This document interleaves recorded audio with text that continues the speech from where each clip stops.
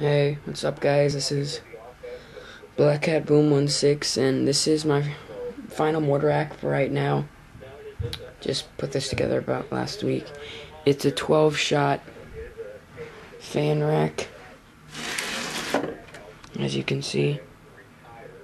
I don't have enough tubes, so this is just what I have. I'll have to order some tubes later, but yeah, this is what this is what we've got. It's tw- four well, four shooting straight up, four to the left and four to the right. Um, just everything is wood glued, screwed, and nail gun. As you can see here, put this down.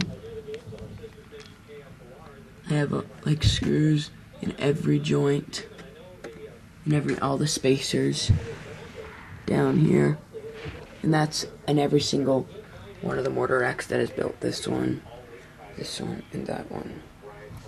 And then, um, and then it has just the spacers. But then on the sides, it's screwed in. So yeah, this is um my this is gonna be my finale rack for next year's Fourth of July, or whenever I shoot it. I'm gonna quick fuse all 12 of these to go off in a fairly fast time. Um, wait, here just a sec. Put the camera down for a second.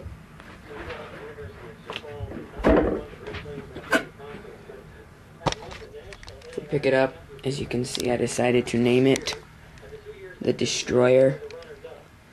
So yeah, I just used some tape and put the names on it. So it's got Destroyer on that side and then black on the other side with Destroyer. So yeah, this is my Destroyer 12 shot fan rack. So yeah, this should be a pretty sick finale.